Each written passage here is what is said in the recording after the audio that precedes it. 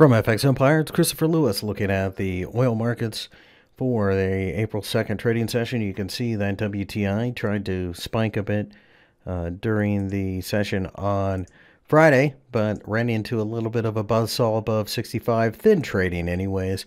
Uh, but at this point, it looks, based upon longer term charts, that we're trying to build up pressure to go higher. I think 64 offers support.